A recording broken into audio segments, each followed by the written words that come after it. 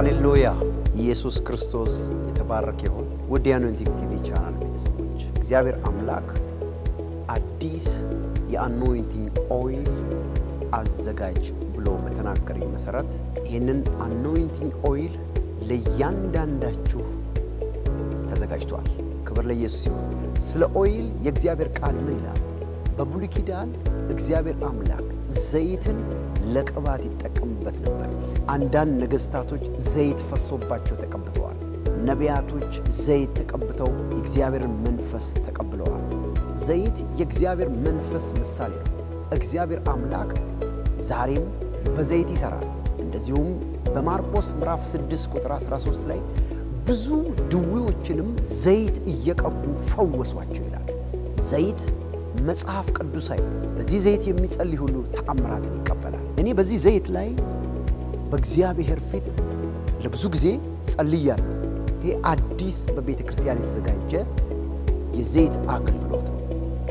ይህንን ዘይት የእግዚአብሔር ሰዎች ሊደርሱ በማይችሉባቸው ቦታዎች ወይም ደግሞ ማንኛውን spiritual item ኦች እግዚአብሔር ሰዎች ወይም ደግሞ ሊጸልይላችሁ የሚችል ማንም አጠገባችሁ ላይ በሌለ ጊዜ በምታምኑበት የእግዚአብሔር ሰው እግዚአብሔር እንደቀባው እንደላከው በምታምኑበት ሰው ላይ ያለውን ቅባት ለመካፈልና ያንን ቅባት በሕይወታችሁ ላይ ተአምራት እንዲያደርግ ለመጋበዝ ከፈለጋችሁ anointing oil የጸለይኩበትን ትወስዳላችሁ።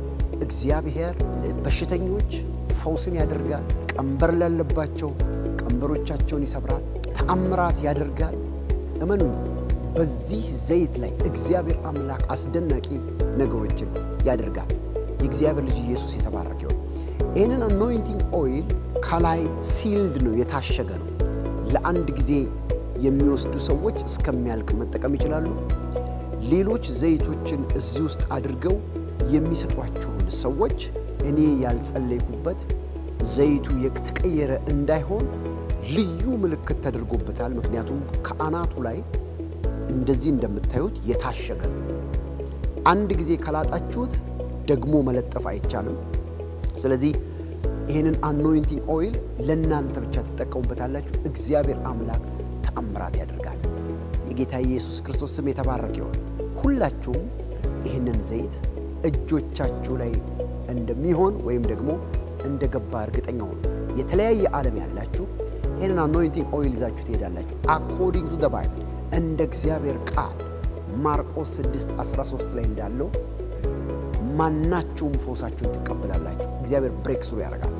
በእጆቼ ይዤ ጸልያለሁ። በእግዚአብሔር ፊት በጾምና በጸሎት በዚህ anointing oil ላይ እግዚአብሔር ልጅ ኢየሱስ ይባረክ። ለእያንዳንዳችሁ በረከት እንዲሆን ጸልያለሁ።